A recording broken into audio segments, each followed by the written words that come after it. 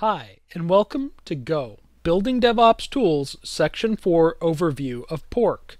In this section, what we're going to do is we're going to go over what Pork is. Pork is a project that we're going to work on throughout the remainder of this course, and it is a GitHub project forker. So in the first part, we're going to talk about what Pork will do and give an explanation, and then we're going to move on to preparation where we're going to create our local project and get it ready with all the files that we need for development.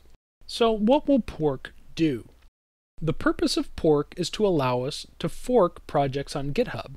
So normally when you use GitHub, you can go to the web page and you can find a project that you want to fork and you can click the fork button and this will fork the project to your own profile. This tool is going to provide a simpler interface for us so that we can easily fork our repositories from the command line and work with them and submit changes back to the developers. It will make it easier for us to find repositories, fork them, and submit pull requests from the command line.